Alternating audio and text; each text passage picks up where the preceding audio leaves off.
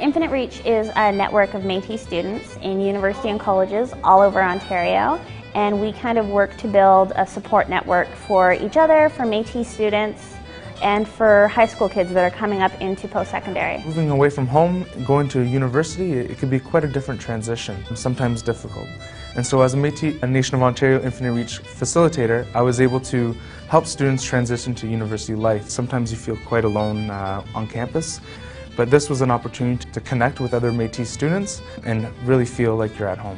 So this program is really important because it gives them a sense of community. They're, if they're new to the city, if they're new to exploring their identity, we give them a safe space. Infinite Reach Network has so many benefits affiliated and associated with it. One, I think, benefit of the program is, you know, around self-identification, around safety of identification, and around pride of identification. When we have our events, we not only have Métis students who come out, but we have community members who come out too, who, uh, who are wanting to learn, who are wanting to pick up those those bits of knowledge, those, those lessons, and, and integrate it into their lives. I know that not only within the network, but the people I've met at the MNO, they want to see us succeed and they want to support us. So if it's getting a reference letter or getting connected with job opportunities or funding opportunities to complete our studies, there's a lot of different ways that this network has brought a lot of young Métis students to a place where they feel very supported.